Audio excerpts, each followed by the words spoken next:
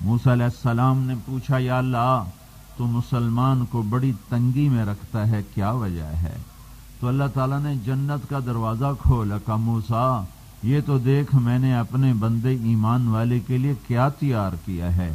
ایک اینٹ سفید موتی کی گھر بن رہا ہے، ایک سرخ یاقوت کی، ایک سبز زمرد کی، ایک اینٹ سونے کی، ایک اینٹ چاندی کی، اس میں مشک کا گارا اور اس میں زعفران کی گھاس اور اس میں اللہ کا ارچ چھت اور اس میں بہنے والی پانی کی نہریں اور دودھ کی نہریں، نہر نہیں نہریں، اور شراب کی نہر نہیں نہریں، اور شہد کی نہر نہیں نہریں نہریں، اور ابلتے ہوئے چشم عینان ندا خطان اور بہتے ہوئے چشم عینان تجریان، اور فیہما فاکیتن و نخل و رمان، اور ہر پھل کی کثرت، اور اور فیہن نقاصرات الطرف، اور اس میں حسین و جمیل لڑکیاں جنت کی ہور سن رہے ہو، اکثر نوجوان بیٹھے ہو، جنت کی ہور، سورج کو اتنی انگلی دکھا دے، اتنی انگلی، یہ یہ اتنا حصہ، یہ، اوپر والا حصہ، جس کو اردو میں پورا کہتے ہیں، پورا، یہ، فنگر ٹپ فنگر ٹپ،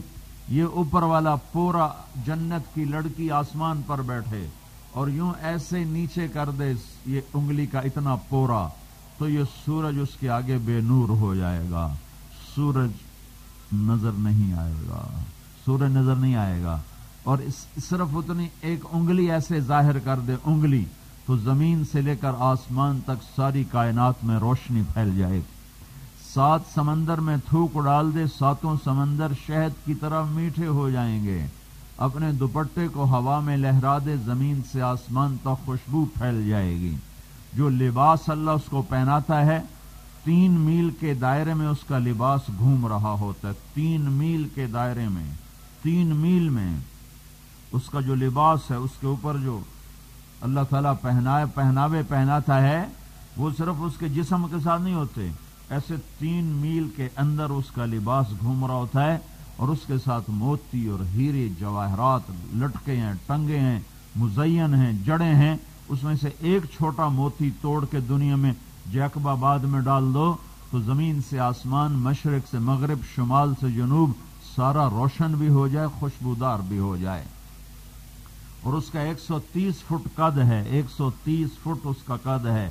اور اس کے سر کے بال، اس کے سر کی چوٹی سے لے کر پاؤں کی ایڑی تک جاتے ہیں۔ اتنے لمبے بال ہیں، ایک سو تیس فٹ لمبے بال ہیں۔ ایک بال توڑ کے جیکب آباد میں ڈال دو، تو زمین سے لے کر آسمان تک روشنی ہو جائے۔ اور ساری کائنات میں خوشبو پھیل جائے۔ یہ اس کے بالوں کی صفت ہے۔ ان بالوں کو اٹھانے کے لیے الگ کنیزیں اللہ تعالیٰ نے بنائی ہیں جو جنت کی حور کے بالوں کو اٹھا کے چلتی ہیں۔